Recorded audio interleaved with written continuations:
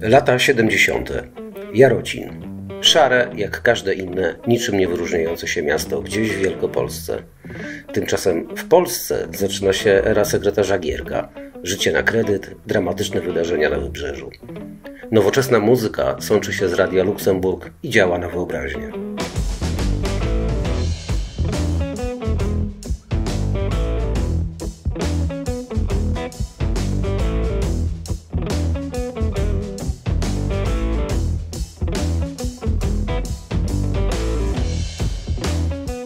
Dziś mówimy Festiwal w Jarocinie i wiemy o co chodzi.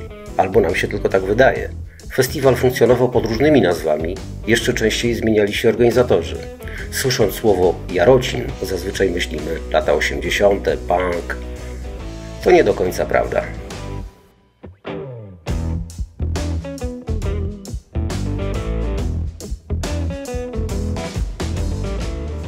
Prawdziwe początki Jarocińskiego Festiwalu sięgają 1970 roku.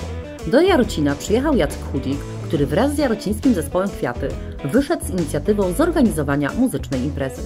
Organizatorem był Jarociński Klub Olin.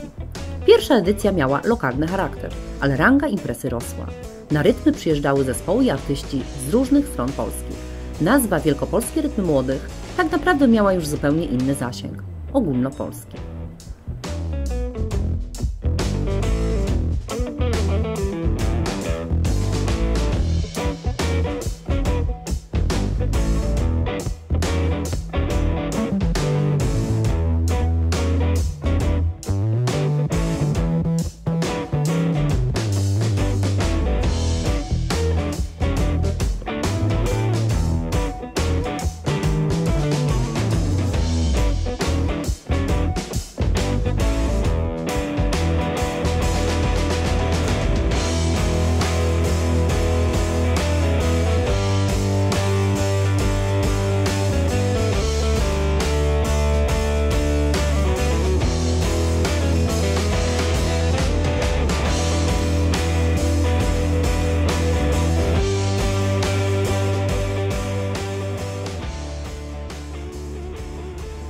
Podczas konkursu można było zdobyć złotego, srebrnego i brązowego kameleona.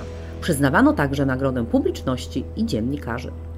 W 1972 roku w Jarocinie pojawili się profesjonalni muzycy, chociażby Jerzy Milian z grupą Stres. W 1973 roku gwiazdą wielkopolskich rytmów młodych był zespół Anaba z Andrzejem Zauchą. To tutaj debiutowała Hanna Banaszak w 1974 roku pod nazwą Hanna i Piotr.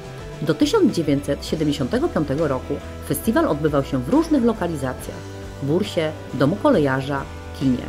Od 1976 roku przeniósł się do nowo wybudowanego Jarocińskiego Ośrodka Kultury.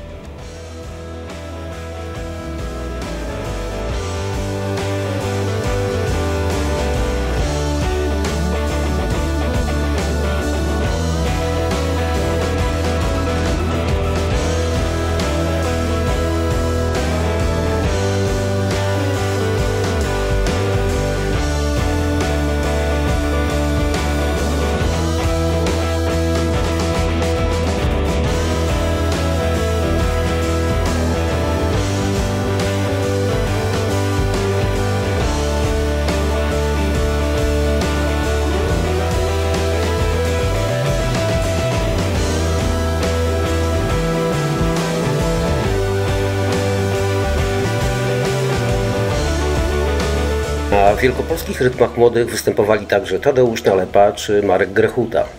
Impreza organizowana przez pierwsze 10 lat przez jarocińskich animatorów stworzyła podwaliny pod to, co zadziało się tutaj w latach 80.